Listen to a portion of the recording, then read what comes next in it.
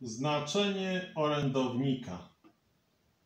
Piękne słowa końcowe naszego rozdziału, to jest wersety 25 do 29, nadawały się szczególnie dobrze do tego, by otworzyć Izraelitom oczy i uświadomić im niedorzeczność ich oceny Mojżesza, siebie samych oraz tego, który nosił ich w tak cudowny sposób mimo ich ciemnej niewiary i krnąbrności.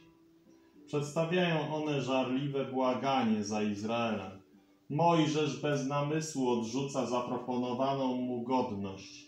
Jego wyłącznym życzeniem jest, aby Pan został uwielbiony, by Jego chwała nie ucierpiała, żeby wybaczył Izraelowi, pobłogosławił go i zaprowadził do ziemi obiecanej nie potrafił znieść myśli o tym, że choćby cień hańby miałby paść na chwalebne imię tego, który był tak drogi jego sercu.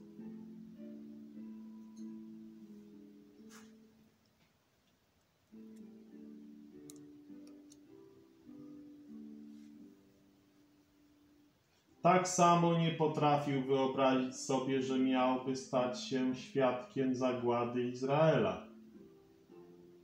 Były to dwa motywy, które mu przyświecały, podczas gdy myśl o swoim wywyższeniu nie miała do niego przystępu. Co się tyczy jego własnych interesów i nadziei, ów umiłowany sługa Boży był tego pewien, że jako ten, który obrał sobie za cel chwałę Boga, i zbawienie Jego ludu może ufnie spocząć w całkowitej pewności, że Jego osobiste błogosławieństwo jest zagwarantowane i nierozerwalnie powiązane wraz z chwałą Boga.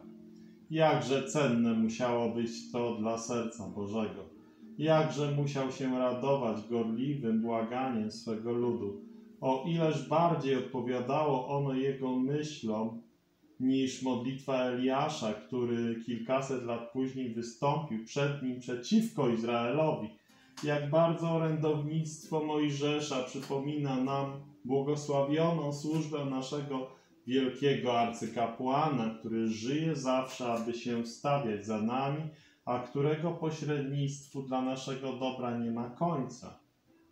Miły jest także widok Mojżesza, obstającego przy tym, że lud był dziedzictwem Pana i że to On wyprowadził go z Egiptu. Pan powiedział do Mojżesza, Twój lud, który wyprowadziłeś z Egiptu, na co Mojżesz powiedział, przecież oni są Twoim ludem i Twoim dziedzictwem, które też wyprowadziłeś swoją wielką mocą i swoim ramieniem wyciągniętym.